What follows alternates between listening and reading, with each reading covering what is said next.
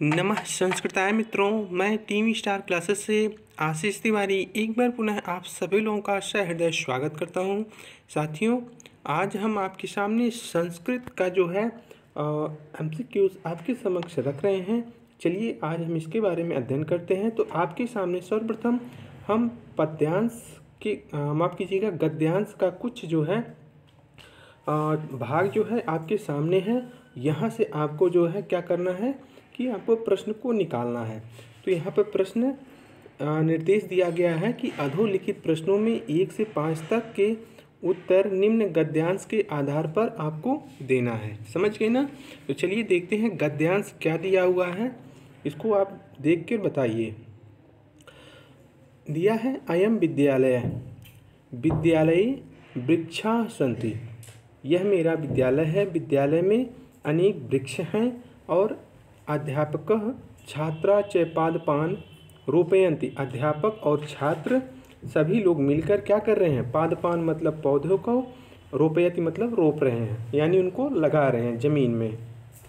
और आगे हैं, छात्रा पादपम सिंचंती। छात्र जो है, क्या कर रहे हैं? पौधों को सींच रहे हैं। छात्रा श्याम पटे लिखते।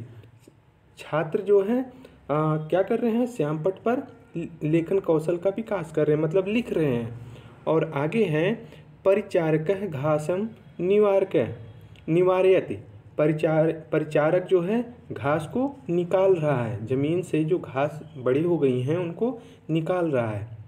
और आगे हैं छात्र अपशिष्ट वस्तुनि। छात्रगण जितने भी हैं अपशिष्ट वस्तुन मतलब कुछ एक्स्ट्रा मतलब अलग से कुछ वस्तुएँ जो है, ज़मीन पर पड़ी हुई थी, उचित स्थाने छिपती।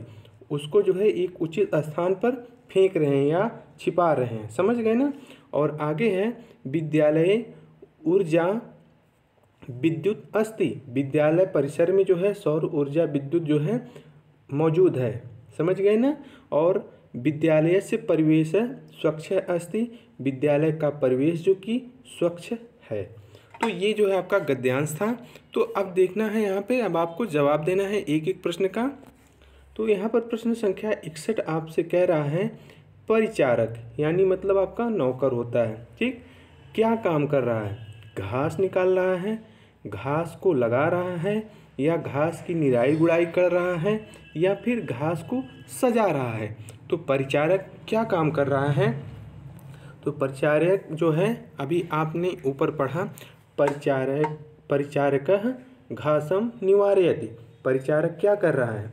घास को निकाल रहा है। अर्थात परिचारक का अर्थ यहाँ पर नौकर से है। निवार्य जो पद है यहाँ पर, ये जो शब्द लिखा हुआ है, ये जो है आपका प्रथम पुरुष एक वचन का है। समझ गए ना भैया? तो यहाँ पर आपको इसका सही जवाब क्या होगा? इसका जो है वो घास निकाल रहा है। समझ गए ना? ये ऑप्शन सही होगा। क्लियर चलिए आगे बढ़ते हैं। छात्रा किसे सींचती है? छात्रा किसे सींचती है?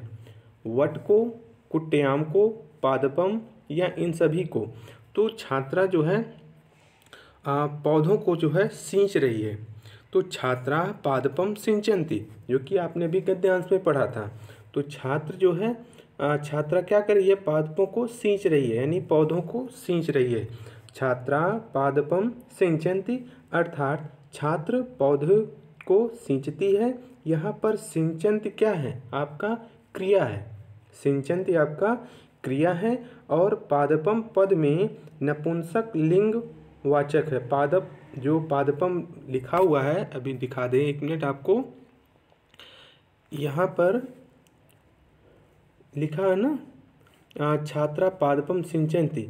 ये सिंचंती पद में जो है आपका माफ़ कीजिएगा, पादपम पद में। पादपम पद में जो है, ये पद जो है आपका क्या है? नपुंसक लिंग वाचक है।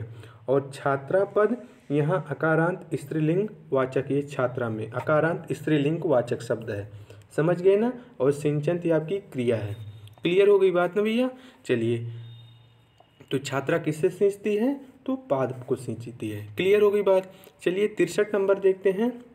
पौधे कौन कौन से कौन कौन रोपते हैं? पौधों को कौन कौन रोपते हैं? केवल बालक, केवल शिक्षक, केवल बालिकाएँ या शिक्षक और सभी छात्र?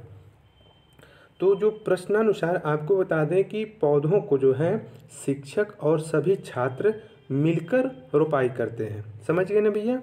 गद्यांश जो आपका लिखा, वो द्वितीय पंक्ति, जो अभी आपने पढ़ा, गद्यांश की द्वितीय पंक्ति, इस प्रश्न के उत्तर की पुष्टि जो है वहाँ से आपको मिल जाएगा। इसके अतिरिक्त मैं आपको बता दें कि अध्यापक छात्रा च पादपान रोपयति। क्लियर हो गई बात ना? जो कि आपका द्वितीय पंक्ति में दिया हुआ है। तो यहाँ पर डी ऑप्शन सही हो जाएगा। चलिए आगे बढ़ते हैं। प्रश्न संख्या चौंसठ आपके सामने। किसका परिवेश स्वच्छ है? किसका परिवेश स्वच्छ है? घर का, बगीचे का, विद्यालय का, या परिचारक या नौकर का? तो इसका सही जवाब क्या होगा? अब आप इसको बताएँगे। तो आपको हम बता दें कि विद्यालय विद्यालय से परिवेश स्वच्छ अस्ति। समझ गए ना? तो यहाँ पर बी ऑप्शन बिल्कुल सही होगा। तो आपके के एग्ज़ाम में ऐसे ही आपके गद्यांश या पद्यांश जो भी दिया जाएगा, ऐसे ही आपको प्रश्नों का आंसर देना होगा। तो इसलिए इस वीडियो को अंत तक देखिएगा भैया, ठीक ना? एक एक चीज़ पर हम आपसे चर्चा करेंगे। चलिए देखते हैं तो इसका सही जवाब चौंसठ का क्या होगा? विद्यालय का जो है परिवेश, स्वच्छ है। विद्यालय से परिवेश स्वच्छ, अस्ति। अर्थात विद्यालय का परिवेश स्वच्छ है, यहाँ पर परिवेश से क्या अर्थ लगाते हैं आप? वातावरण से। समझ गए ना? और विद्यालय से में आपका सुबंत पद है तथा इसमें षष्ठी विभक्ति का प्रयोग किया गया है। समझ गए ना? षष्ठी विभक्ति का प्रयोग किया, जैसे आपका बालक से बालको बालकाना। ये षष्ठी विभक्ति का हमने एक वचन, द्विवचन, बहुवचन का बताया। उसी तरह आपका इसका क्या होगा? विद्यालय से विद्यालय विद्यालय से ये आपका षष्ठी विभक्ति एक वचन होगा। समझ गए ना भैया? चलिए, आगे बढ़ते हैं हम। प्रश्न संख्या पैंसठ है आपका। इस संपूर्ण गद्यांश का उचित शीर्षक क्या होगा? इस संपूर्ण गद्यांश का उचित शीर्षक क्या होगा? विद्या होगी, सदाचार होगा, आचरण होगा या विद्यालय, परिवेश होगा। तो उपर्युक्त गद्यांश का उचित शीर्षक विद्यालय, परिवेश ही होगा, जो कि आपने अभी पढ़ा क्योंकि समस्त काम जो है आपके विद्यालय के परिसर में ही हो रहे हैं। छात्र हैं शिक्षक हैं और पौधे हैं नौकर भी हैं।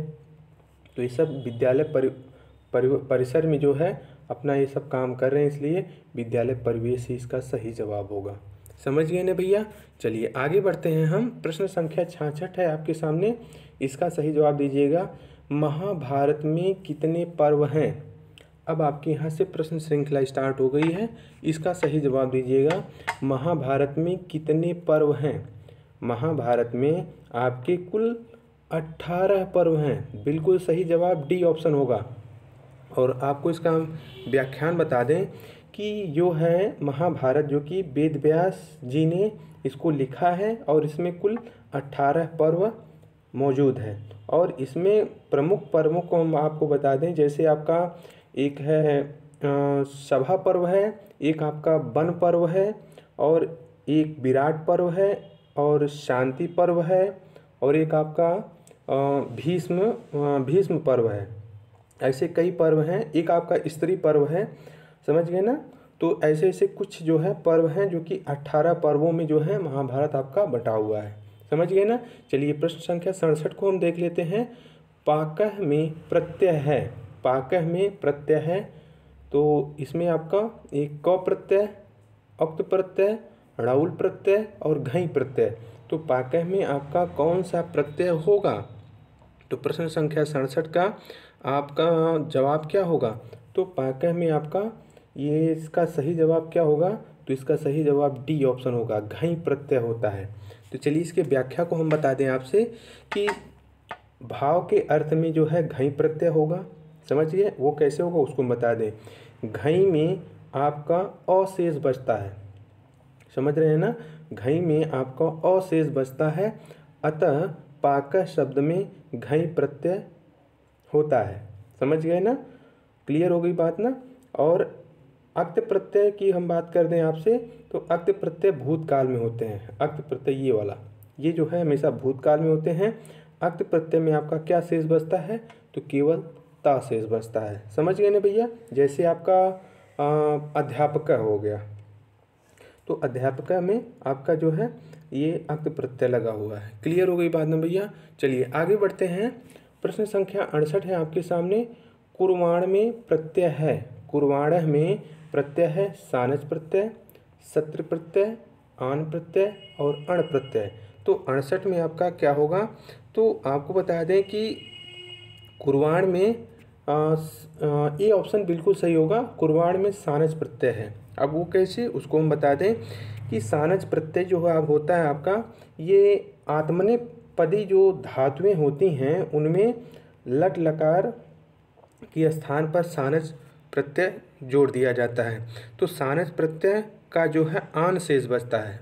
समझ रहे हैं ना?